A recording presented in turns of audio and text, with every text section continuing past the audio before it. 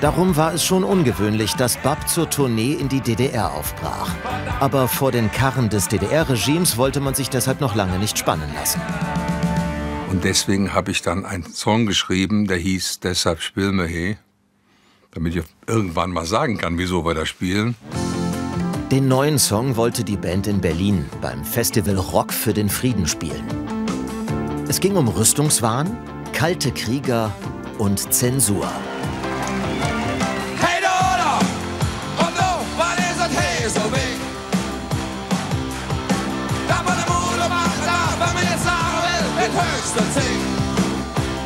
Der Song war eine volle Breitseite gegen das DDR-Regime.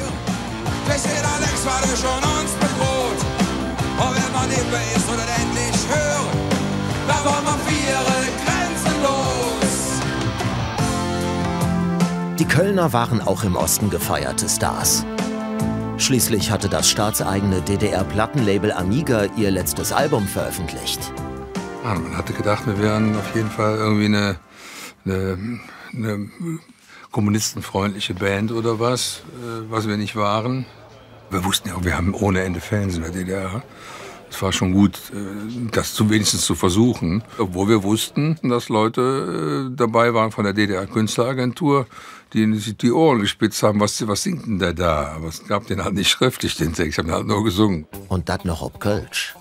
Doch so einfach ließen sich die Agenten der DDR-Künstleragentur nicht abspeisen. Warum in aller Welt müsste jetzt ein Text stehen? Ja, wird einfach nur mal interessiert. So, hm, hm. Ja, und nach langem Hin und Her haben wir ihn dann mal rausgerückt und dann ging es eigentlich erst richtig los. Den ganzen Tag wurde verhandelt und gestritten. Mühsam arbeiteten sich Ostberliner Beamte am Kölschen Liedgut ab. Äh, wo sind wir? Hier, Das mit dem das ist das Versteckspiel. Dass die Versteckspielregeln nicht, äh, keinen mehr interessieren. Dass jeder längst, was euch und uns bedroht und wer es noch nicht weiß, soll es endlich hören. Das wollen wir feiern. Die Entscheidung ist jetzt gefallen. Herr Niedecken, Sie fahren ab.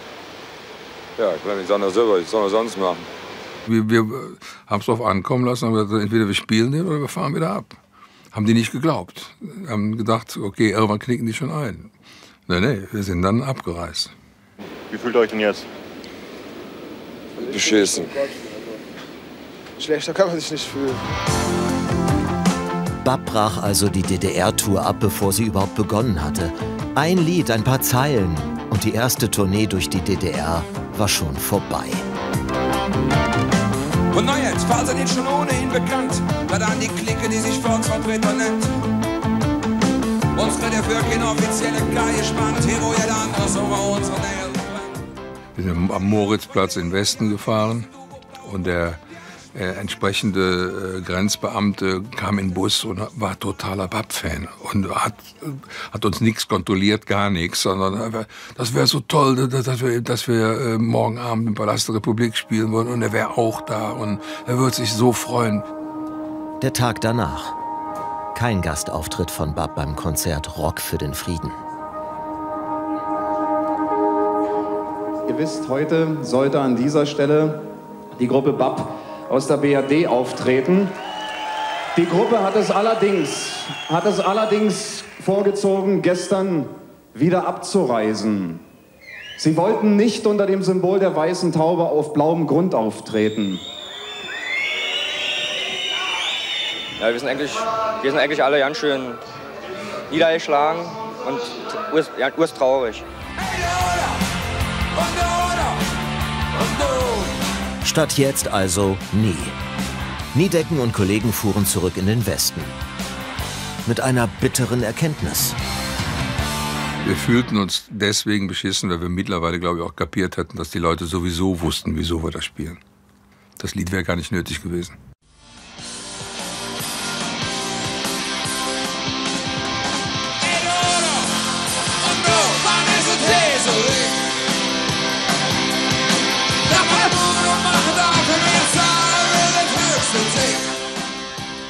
Ich möchte eigentlich gerne die ganze Tour so angehen wie jede andere Tour auch.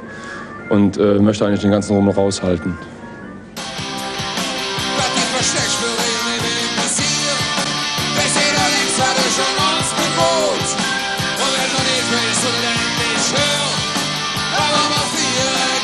Aber trotzdem wollen wir vorher auch nicht zu viel sagen und auch nicht irgendwie zu viel mit Presse oder, oder Fernsehen oder irgendwas machen.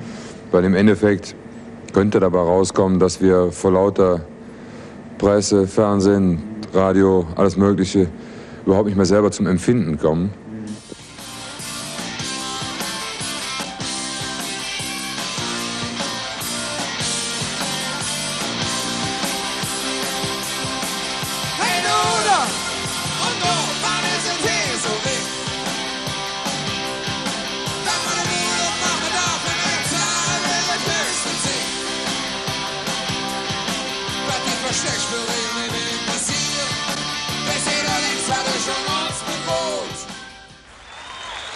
24 Stunden vor der DDR-Tournee sind wir beim Auftritt in der Wolfsburger Stadthalle mit dabei und erleben die Generalprobe für ein neues Lied. Äh, was ich noch sagen wollte ist, wir in der DDR spielen, habe ich eben gesagt, dass wir bestimmte Vorstellungen haben in Bezug auf, wie die Leute drüben sind, kann man eigentlich nicht sagen. Bestimmte Vorstellungen, was abgeht drüben, kann man auch nicht sagen. Wir können nur sagen, dass wir, dass wir hoffen, dass die ganze Sache so locker abgeht, wie sie hier abgeht, vom Publikum her. Dass, dass die Karten wirklich so an den Mann bzw. die Frau gebracht worden sind, wie man es uns zugesichert hat. Und dass es richtig gut abgeht. Wo wir ein bisschen Angst haben, ist, dass sowohl hier in den Medien als auch drüben in den Medien nicht unbedingt das gesagt wird, also unsere Erklärung, wieso wir da spielen. Hier wird ein bisschen verschwiegen, drüben wird verschwiegen. Und insgesamt kommt das Ganze wahrscheinlich nicht ganz in den richtigen Hals. Da wir die Angst schon länger haben, haben wir uns gedacht, wir machen es am besten so, schreiben einfach ein Stück über das Thema, wieso wir da spielen. Das Stück Hammer. Das Stück heißt, deshalb spielen wir hier, deshalb spielen wir hier.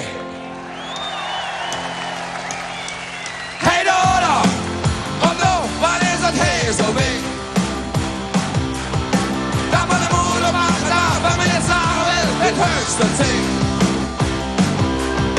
Dass die Versteckspielregeln nicht mehr interessieren. Wir sehen Alex, war der schon uns bedroht. Und wenn man nicht mehr ist oder endlich hören, dann wollen wir vier Grenzen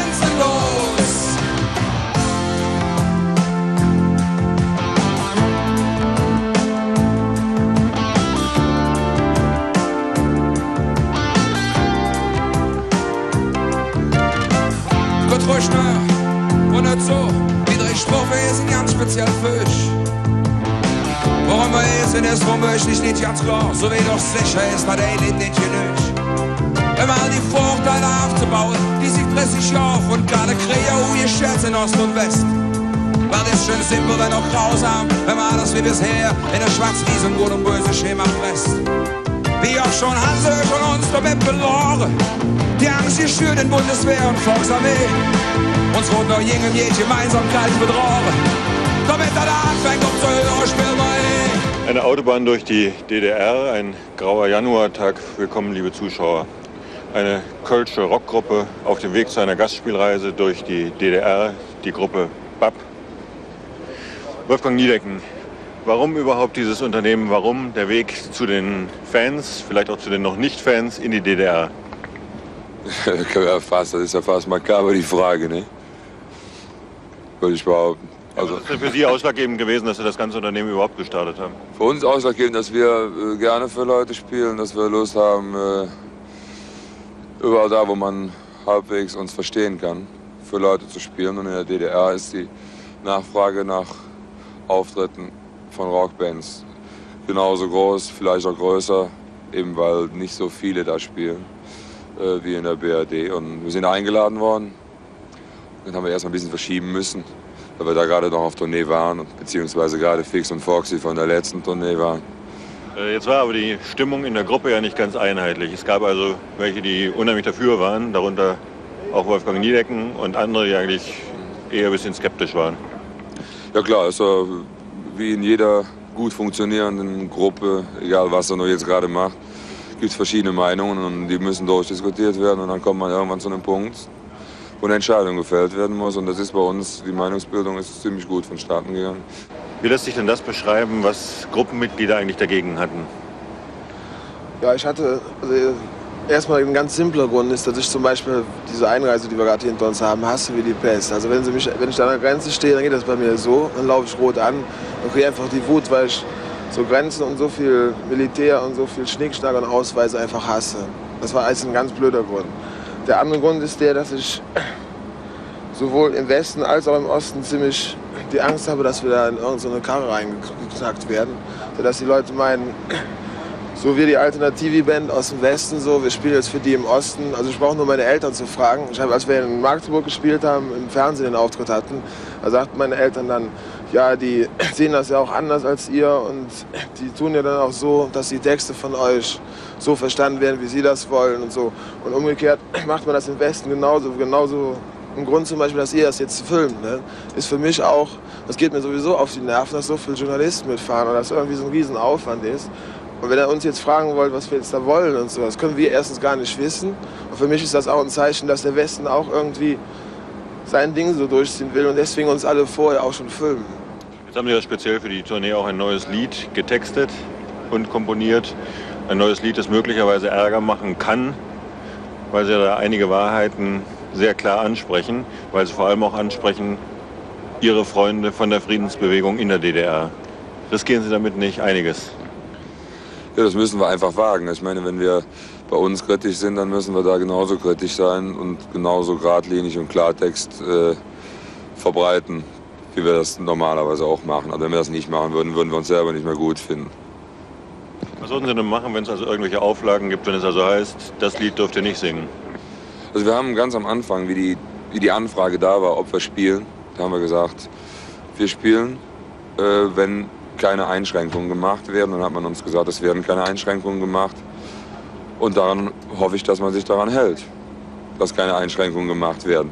Wir werden, äh, sobald es doch dazu kommen wird, werden wir unseren Koffer packen und wieder abziehen. Hat sich der Fall. Ich meine, das ist natürlich dann sehr traurig. Ne? Wir wollen auch wirklich hoffen, dass es nicht so weit kommt. Aber wenn es so weit, wenn das passieren sollte, aber ich glaube nicht, dass es passiert.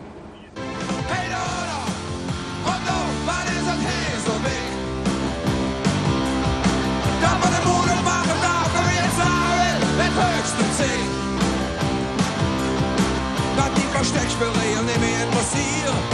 Der sieht allerdings, weil er schon uns bedroht. Und wenn man nicht weiß oder endlich hört, da war man für ihre Grenze los.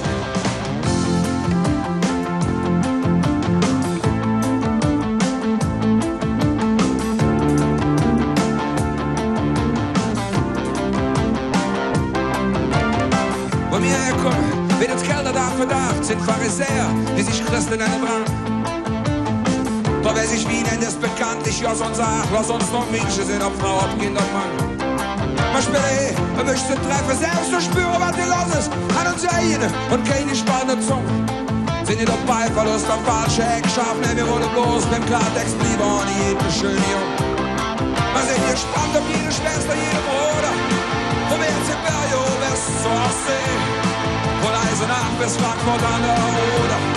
Mach freuen uns liebe Club und deshalb spielen wir hin. Nehmt das doch easy. So die oft wiederholte Aufforderung von Bab an uns. Aber Bab selbst wirkt auch nicht sehr easy vor Tourbeginn. Untereinander hatte es kräftig gefunkt über Sinn oder Unsinn dieser Fahrt. Ein Fernsehauftritt in der DDR vor einigen Wochen hatte die Skeptiker bestätigt, denn da wurde kräftig geschnitten.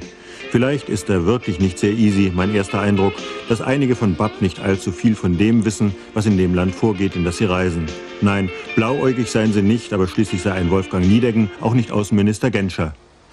Nach fünf Stunden Fahrt kommen wir abends vor dem Hotel Unter den Linden in Ostberlin an. Keine spektakuläre Ankunft wie einige Monate zuvor bei Udo Lindenberg, als Hunderte von Fans auf der Straße warteten.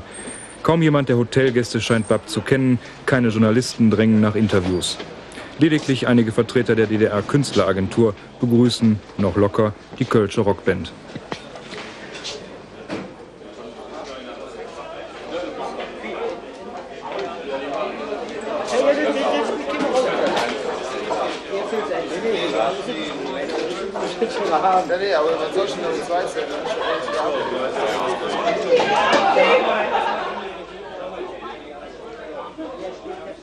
Der nächste Morgen.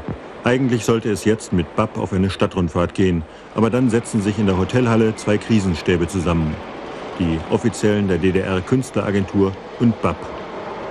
Wir hören, dass die DDR sich gelingt fühlt. Bis zur Stunde kenne man noch nicht einmal den Text des neuen Liedes von BAP. Da soll er von der Volksarmee, von kalten Kriegern, von SS-20 und Pazifisten die Rede sein. BAP will nicht mit sich feilschen lassen, holt dann aber doch den Text. Wir merken, dass die Skepsis bei den DDR-Offiziellen immer größer wird. Mühsam werden kölsche Zeilen übersetzt.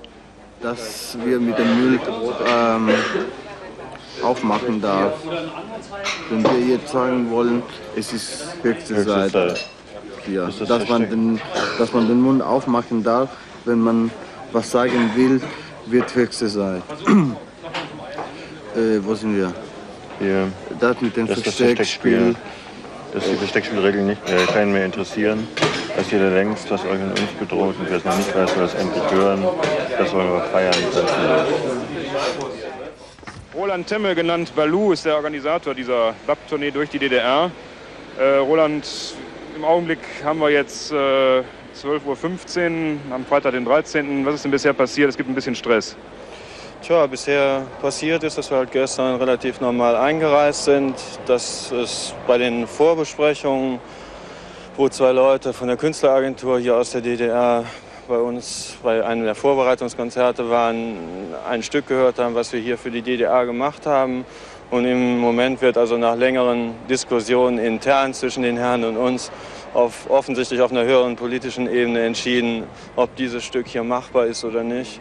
Und davon wird im Wesentlichen abhängen, ob diese Tournee hier noch stattfindet oder nicht. Ihr habt ja auch jetzt vorhin schon im Hotel vorher eine längere Diskussion gehabt. War die eigentlich politischer Natur? Es ist, geht uns eigentlich mehr darum, das zu machen, was wir bei uns auch machen. Nämlich niemanden zu fragen, ob wir irgendwas spielen dürfen und das zu machen, wozu wir Lust haben und das zu machen, wovon wir meinen, dass es richtig ist. Und jetzt völlig unabhängig davon, dass dieses Stück in keiner Weise irgendwie ein Angriff auf die DDR oder sowas ist, möchten wir einfach nur eingeräumt bekommen oder in der Realität auch eingeräumt bekommen, was uns vorher versprochen worden ist, dass wir völlig frei in der Programmgestaltung sind. Ansonsten haben wir einfach das Gefühl, dass wir uns selber vor uns selber hauptsächlich einfach unglaubwürdig machen und dem widersprechen, was sonst unser Ding ist.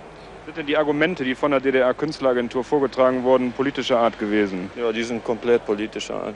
Es, einfach, es wird einfach gesagt, dass äh, bestimmte Formulierungen, und da gestehe ich auch zu, dass das irgendwo seine Richtigkeit haben mag, äh, hier einfach dass gegenüber bestimmten Formulierungen Empfindlichkeiten da sind, die für uns zunächst mal nicht so verständlich sind. Nichtsdestotrotz kann das für uns kein Argument sein. Wurde ein, konkretes, wurde ein konkretes Beispiel irgendwie angeführt? Eine Formulierung in einem größeren Zusammenhang äh, äh in, in einer Zeile geht es zum Beispiel darum zu sagen, okay, wir freuen uns, dass die starren Fronten irgendwie aufgeweicht werden, die in den letzten 30 Jahren von Originalton, kalten Kriegern in Ost und West eben dazu benutzt worden, äh, zu verhindern, dass zum Beispiel zwischen den Jugendlichen beiden Teilen Deutschlands irgendwie engere Beziehungen entstehen. Und das ist etwas, was hier offensichtlich zumindest politisch schwierig ist. Im Augenblick berät, berät, berät die Gruppe noch hier im Hotel hinter uns. Äh, zu welchem Schluss also welchem Entscheid wird diese Beratung führen? Der Entscheid von unserer Seite ist eigentlich gefallen, wie ich gerade schon gesagt habe.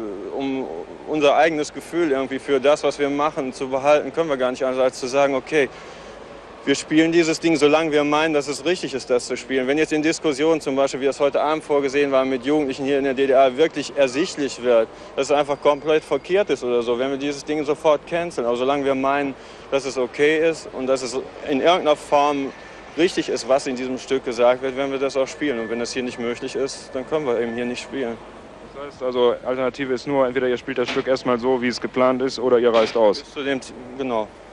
Ich meine, wir sind auch vor die Alternative gestellt worden. Also sollte jetzt, wie gesagt, auf dieser höheren politischen Ebene die Entscheidung fallen, dieses Stück ist hier nicht möglich, dann äh, wird die Tournee von Seiten der Künstleragentur der DDR auch gestrichen. Eine Stunde später fahren wir zur Künstleragentur ein paar Straßen weiter. Die Verhandlungen werden jetzt hier fortgesetzt. Immer mehr Ratlosigkeit macht sich breit. Ist noch nicht zu Ende erklärt. Alles klar. Äh, wann kommt er wieder hierher? ja wahrscheinlich gar nicht. Die Herren kommen, also fahren ins Hotel und die anderen kommen auch gleich ins Hotel. Also die Herren von der Künstleragentur. Ist denn jetzt was Positives absehbar? Das ist echt noch nicht klar. komplett nicht. Wir müssen noch mal unter uns was bekakeln und dann, naja, je nachdem, was dabei rauskommt, werden wir dann in einer halben Stunde endgültig wissen, was gebacken ist. Du musst auch verstehen, weil will die auch nicht in die Pfanne hauen. Okay. Zwei Stunden später an der äh, Straße unter den Linden in Berlin, am Hotel unter den Linden. Die Entscheidung ist jetzt gefallen. Herr Niedecken, Sie fahren ab. Ja, ich bleibe nicht anders selber. Was soll man sonst machen? Was ist jetzt in den letzten Minuten noch passiert und was hat die Entscheidung für Sie jetzt so gebracht? Wir haben seit 11 Uhr heute Morgen, was haben wir jetzt? Jetzt haben wir Viertel nach drei. Von 11 Uhr an über die Sache diskutiert. Haben unseren Standpunkt schon sehr früh klar gehabt, natürlich, äh, dass wir die Nummer auf jeden Fall, also uns vorbehalten, wann wir sie spielen, wo wir sie spielen. Dass wir also von keinem uns das Programm bestimmen lassen. Das habe ich also gestern, wenn wir hergefahren sind, auch gesagt. Und dazu stehen wir nach wie vor. Selbstredend, dass wir, sobald wir einsehen, dass irgendwas in der Nummer nicht stimmt, dann kann man sowas äh, neu überarbeiten. Wir haben den Text so und so oft mal überarbeitet, weil sich neue Gesichtspunkte ergeben haben. Aber äh, wie, es im Moment, wie es im Moment aussieht, äh, hat die Nummer komplett ihre Berechtigung. Ist denn über den Inhalt noch diskutiert worden oder ist nur gesagt worden, das Lied entweder gar nicht? Von uns ist gesagt worden, entweder wir spielen das Lied da, wo wir wollen, oder wir fahren wieder. Hat es denn noch Versuche gegeben, einen Kompromiss auf die Beine zu kriegen? Ja, überhaupt keinen. Von der, hier von den Seiten, der offiziellen Seite, überhaupt keinen. Und diskutiert haben wir über das Stück mindestens schon einen Monat, weil wir haben es von allem, was wir halt mitgekriegt haben, immer wieder geändert und so. Wir haben auch heute noch darüber diskutiert, aber es gibt halt einen Punkt, wo wenn du selber ehrlich zu dir selber sein willst, gibt es eben einen Punkt, wo manche Sachen nicht mehr machbar sind. Verstehst du, wir haben keine einzige Linkerei gemacht im ganzen Vorfeld. Wir haben uns so verhalten die ganze Zeit, dass wir uns selber dabei gut fühlen. Ne?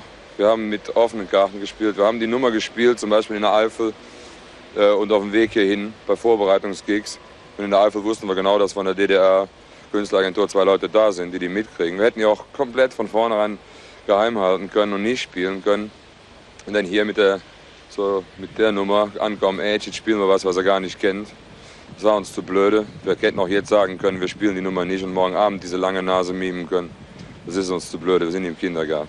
Euch wird jetzt sicher der Vorwurf hier in Ostberlin gemacht werden, dass ihr zu einer bewussten Provokation überhaupt hierher gekommen seid, dass ihr von Anfang an eigentlich wissen musstet, dass dieses Stück hier nicht aufgeführt werden kann. Also was alles passiert, was, was jetzt noch alles losgeht, äh, diesen Karren drüben mit uns zu bespannen und was hier abgeht, das macht mir jetzt ganz schön Bauchschmerzen. Denn ab jetzt müssen wir unheimlich aufpassen, äh, dass wir uns ein paar hundert Meter weiter nicht von Karren spannen lassen, bei den Kartenkriegern, die da sitzen und sagen, siehst du, Age, da habt das, ihr Alternativis, ihr Linken oder was. Wie ist euch denn jetzt selber zumute? Wir hatten euch gefragt, als ihr hier in die DDR gestartet seid zu eurer Tournee, über die Hoffnungen, aber auch über die Befürchtungen. Wie fühlt ihr euch denn jetzt? Beschissen. Schlechter kann man sich nicht fühlen. Ich weiß auch nicht, also ich muss das erst mal verarbeiten. Ich weiß jetzt nicht, was. Mich hat das überrascht, ich habe damit eigentlich nicht gerechnet.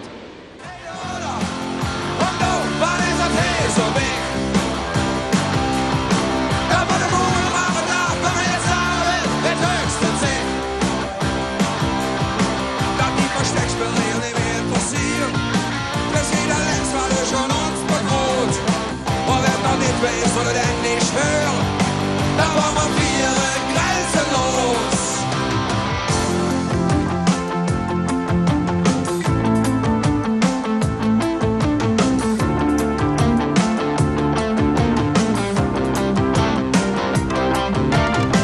Und na jetzt, falls er nicht schon ohnehin bekannt, da dann die Clique, die sich Volksvertreter nennt. Uns tritt er für keine offizielle Kai hier wo ihr dann aus über unsere Nähe Der Freunde, die angewiesen, du wo blauen Grund, die haben Schmieds, der wird schwer gerade zu einem Bloch. Ein SS-20 zu einem Traktor und ein Pershing zu einer die Art vom Rüstungsschwachsinn, so wie wir hier nur. Sind Pazifisten ohne Wenn und Aber, ohne Hinger die Sache, nee. Die haben mir den Ausbau von dem ganzen Laber, ganz besonders für uns bunte Schwimmer, ey. Samstag, 20 Uhr, im großen Saal im Palast der Republik hier in Ostberlin. Hier sollte eigentlich jetzt die Gruppe BAP auftreten.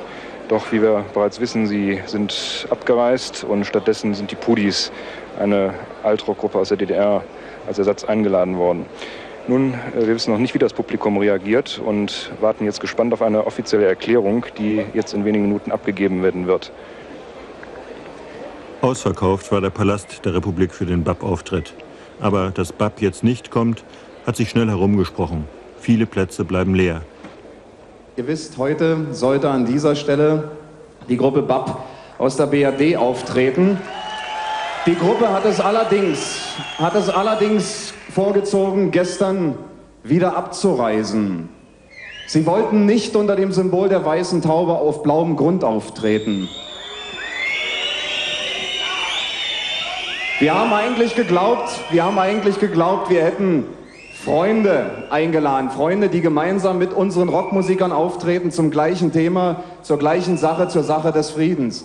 Sie haben immer gesagt, Sie wollen sich vor keinen Karren spannen lassen. Und jetzt, jetzt ziehen Sie ganz einfach den Karren der kalten Krieger. Für uns ist und bleibt der Frieden die wichtigste Sache. Und die weiße Taube unser Symbol.